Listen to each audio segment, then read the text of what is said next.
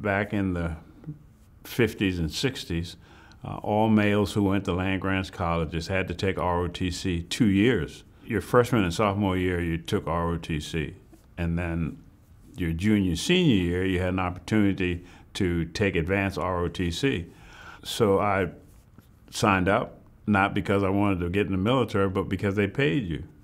And um, it was a direct commission. So once I graduated, I had a job. Back then, because of the state of the nation, African Americans weren't being hired in too many jobs, so the military seemed like a, a, a, good one. I had no intention of staying, but one thing led to another. I got some good assignments. I've had some choice assignments. Um, I was stationed in the Old Guard, and I commanded the Tomb of the Unknown Soldier, uh, stationed in Berlin. I only had three bad years in, of duty, and those were when we were in Vietnam.